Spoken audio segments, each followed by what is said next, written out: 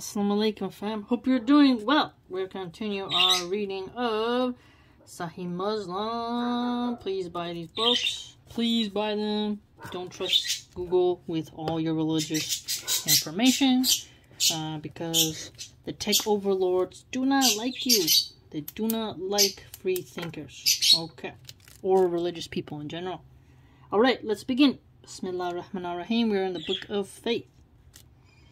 It was narrated from Thabit bin ad-Dahak that the Prophet, peace be upon him, said, No man is bound by a vow concerning something that he does not possess, and cursing a believer is like killing him. Okay, that's important. And whoever kills himself with something in this world will be punished with it on the day of resurrection. And I, oh, I think I've also read correctly that you should not Allah has appointed for you a, a term of your life. You have free choice, but you cannot decide when you exit. You have to endure with gracious patience your testing and trials. And you cannot escape it, and you should press head onward. Through suffering comes strength. Whoever makes a false claim in order to appear to have more than he has, Allah will only cause him to have less. Okay, so look at that. Okay, so this one makes me think of whoever makes a false claim in order to appear to have more than what he has. There's a saying, at least in America, fake it till you make it. I really don't like this type of strategy. This usually has to do with fashion, has to do with people stunting and, and acting like they have more wealth than what they do in order to attain business deals, to gain trust of customers, and to sometimes find a mate, you know? And this is this type of trickery, I'd, I'd say, that falls into this. So if you appear to have more than what you have, it shows like, hmm, there's something going on there. My uncle, who is well established in some regards, he dresses kind of like really poor, you know, sandals, like a Hawaiian shirt, khaki shorts, and a funny fisherman hat. You wouldn't know he has an estate. Um, I like that approach you know, the simple approach of modesty, of minimalism. Uh, but there are some people who definitely flaunt and peacock when they don't really have the gold in the chamber, as they say. And this can cause false sense of trust. So definitely this has a lot of wisdom that you can look at today as well. And the same applies to the one who is demanded and swears a false oath. It was narrated that Thabit bin ad-Dahak said, the Prophet, peace be upon him, said, Whoever swears deliberately and falsely that he belongs to a religion, other than Islam, is as he said.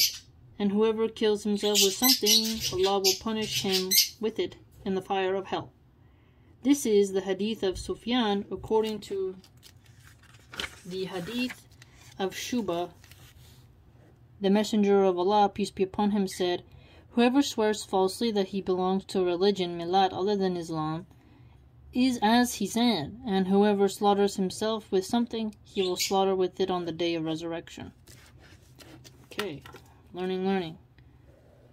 It was narrated that Abu Huraira, may Allah be pleased with him, said, We were present at the Battle of Hunain with the Messenger of Allah. Okay, so Battle of Hunain.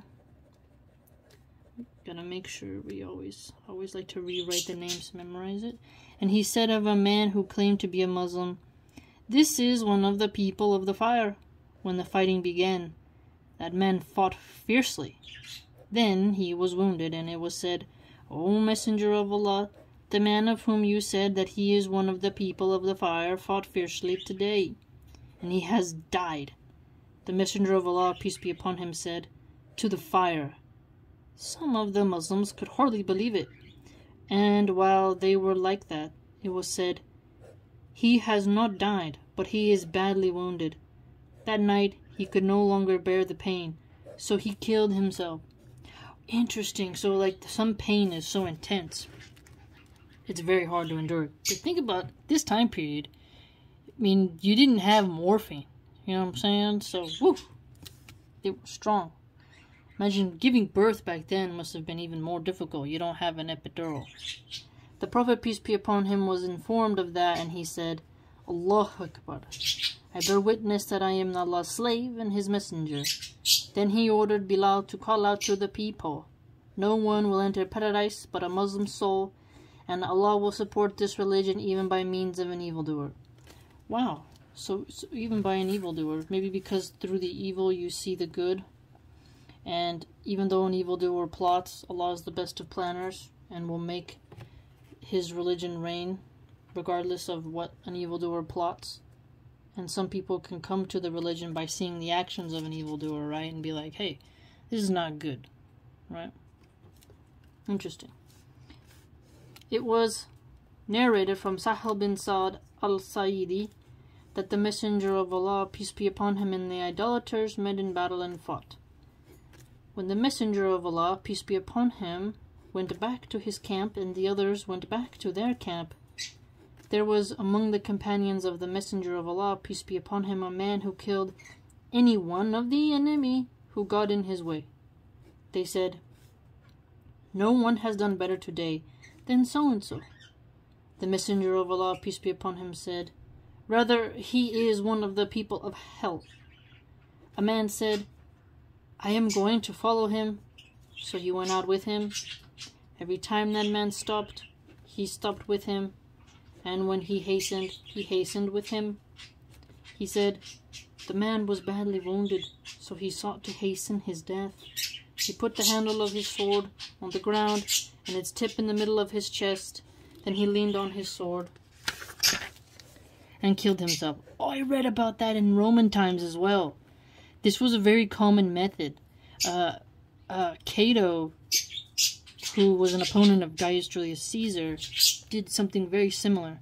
This was very common uh, back then, that you you you did that.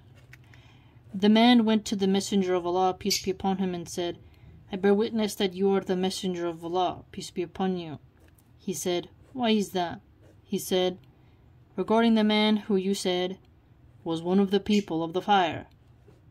And the people were astounded by that. I said, I will find out about him for you. So I followed him until he was badly wounded in battle. Then he sought to hasten his death. He put the handle of his sword on the ground and its tip in the middle of his chest. Then he leaned on it and killed himself. The messenger of Allah, peace be upon him, said, A man may do the deeds of the people of paradise, or so it seems to the people, although he is one of the people of the fire.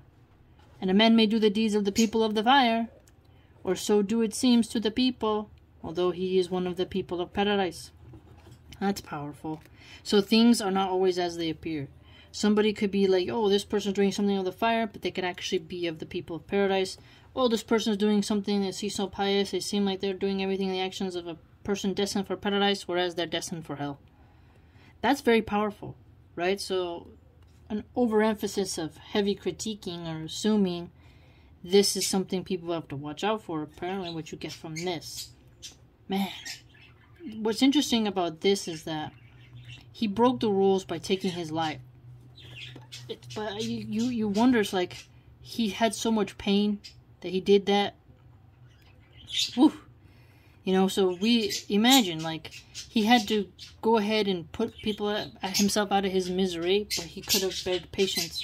But it is quite difficult sounds easy when we're not the ones in pain, but it that kind of shows me as a reader, hey, you gotta have high tolerance for pain, high tolerance for pain. Whew, you know, it really shows you like, whoa, you gotta bear patience, man.